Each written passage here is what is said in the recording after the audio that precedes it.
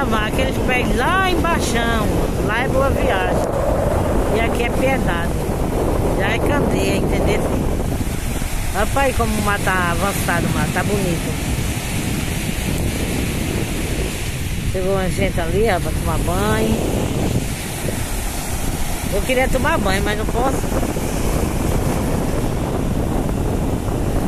Que coisa linda. É Pernambuco.